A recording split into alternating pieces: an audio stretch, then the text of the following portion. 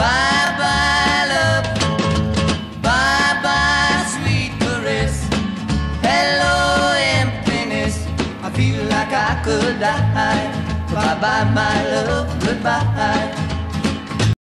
I've loved, I've laughed and cried, I've had my fill, my share of losing, and now as tears subside, I find it all so amusing to think I did all that,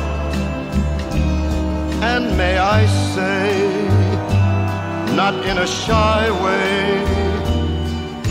Oh no, oh no, not. I did it my way. I've heard it said that people come into our lives for a reason, bringing something we must learn, and we are led to those who help us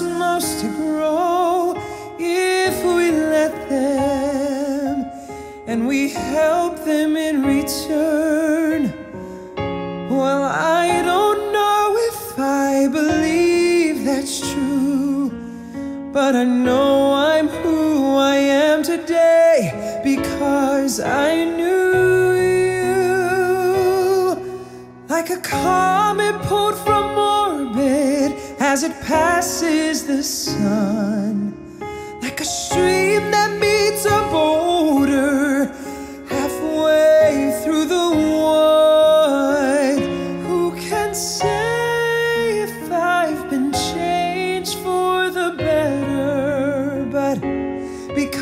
I knew you, I have been changed for good.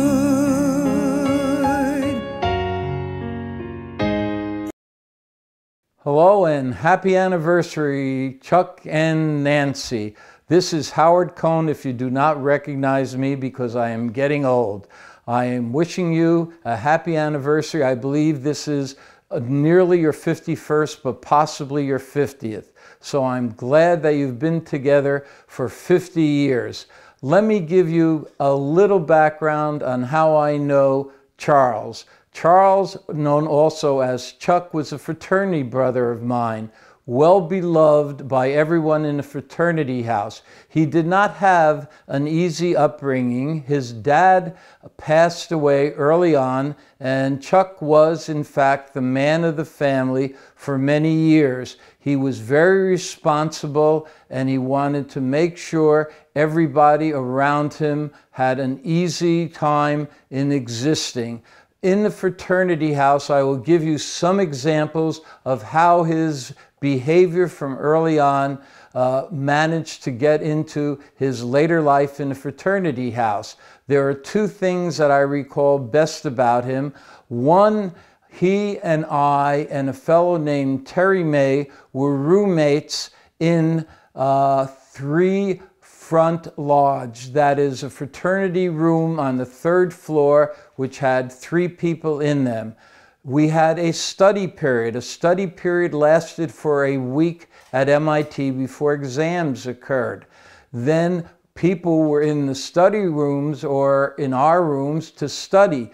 Chuck noticed that I was never in the room, and Terry spent most of the time either reading James Bond or playing pickup sticks. Chuck finally confronted me and said, Why are you studying? At which time I told him, God only allots so many hours per room for studying, and he was using up all the study hours in the room. He then proceeded for the next three nights to study in the dining room so that he could conserve the study time which Terry and I used. Terry, however, continued to do pickup sticks and read uh, James Bond. Now, I then lived with Charles, also known as Chuck, for several years when he was going to Harvard Med.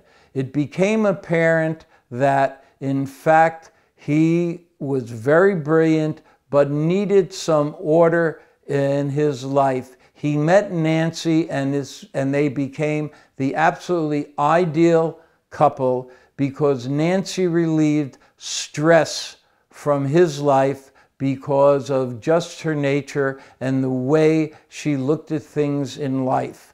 I will give you two examples of that.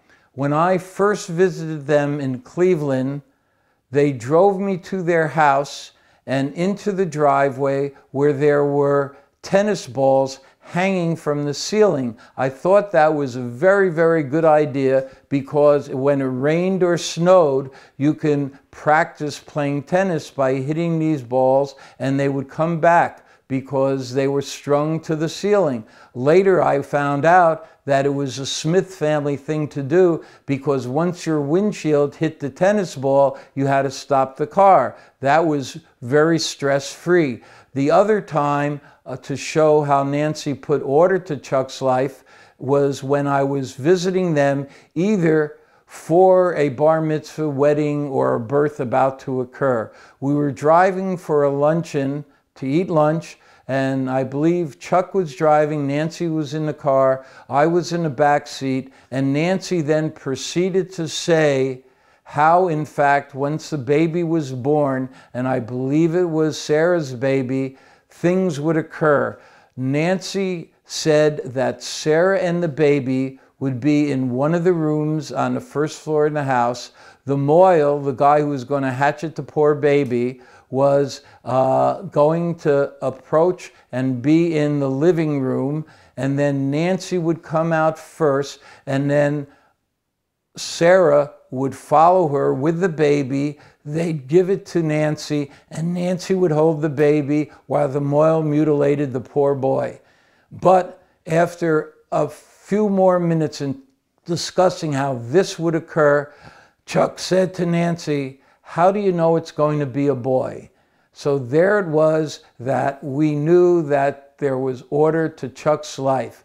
Now that I've given you the most familiar things of my memory of Chuck and Nancy together, I want to play This Is Your Life, Chuck and Nancy. The first thing I want to show you is this. I'm not sure you could see it, but this is their wedding in uh, their wedding uh, invitation. It was addressed to me, person known as Private Howard Cohen in Arlington, Virginia, and the date was the 2nd of May, 1970 something. I guess I was in the Army then, and I was invited to their wedding, and that was going to be on Memorial Day at that time in a, uh, church somewhere in the Boston area because they couldn't find any other place to have it. Now, as their life proceeded, they had a baby. This baby is Sarah, age eight months, 1972. Now, Chuck and Nancy, they were not destitute, but they were impoverished a bit and they could not afford a color camera. So Sarah was initially shown in black and white. Now I will go to the next picture of my friend Sarah.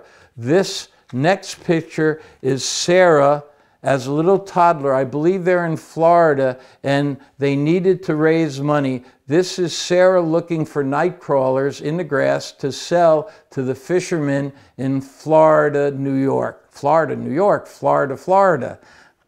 The next thing I have is from, uh, well, I'll show you another picture. This is Sarah with her toy. That's uh, in 1976. And the person, you could see Sarah, she was always short. That's Rebecca. That's her new toy, also known as her sister. That's August of 1970 these six. The reason I know the date is that Chuck always wrote the back on the back of the photographs the date when the picture was taken. Rebecca was very nice to me, and Rebecca, in fact, sent me a card with a beautiful picture on it. It says, Dear Howard, the reason that there are holes in the card is the design needed them. I miss you very much. I can't wait to see you. It's a spinning design. And then I have a PS, which you might see, that she uh, describes, that's a clown. So I thank Rebecca for this nice card, which I have saved and loved. This is a confused picture. They were told that they were going to either be confirmed or baptized, not knowing that they were Jewish. So they were in their baptismal uh, uh, dresses, and then they were very upset thereafter because, in fact, there wasn't going to be a baptism it was a fake Jewish ceremony uh, brought about by Donald Trump. He was even alive in those days. The next picture I wish to show you, this is when April, according to Charles, of 1983, he sent me and Rebecca out to get one loaf of bread. Certainly, you could not stop at one loaf, so we brought in many, many loaves, and we were showing, Rebecca and I were showing all of breads that we got. This is how the family, in fact, played hide and seek. This is why they were never good at hide and seek. This is Thanksgiving of 95, and they're either hiding from the family or they don't want to see the turkey who has been killed and is dressed. Next picture I have is when they were in the Boston area. They are dressed as little women because they were in Amy Alcott's neighborhood and they figured they dress according to the period time. We will then progress to the time when Chuck and Nancy wanted to go on vacation, so they sent the two girls to meet their cousins in Wellesley. That's Eileen's children. And so you see Howard with uh, Eileen's children and Chuck's children and Howard, they tried to, in fact, lose me by giving me helium filled balloons, but I was uh, uh, too heavy even at that time. This is the entire family, and that is uh, Sarah and Richard's baby. It is either a stand in or it's a baby who doesn't move, but that little thing there, that's a baby. The last picture I have, or the next to last picture I have, is this picture showing, I guess it is Rebecca and her husband with a little boy. And you will notice the only one who knows how to dress is the boy because he's the only one with the cool shirt. Everyone else is just lost. And the very last picture is taken by Chuck he couldn't really focus it and he was wandering around with the camera. So the people are to the left of this picture. All he got was the water. In any event, I have a happy and anniversary and may you have 50 more so you can be all shriveled up 50 years from now. Happy anniversary from Howard Cohen if you do not recognize me. Thank you and goodbye.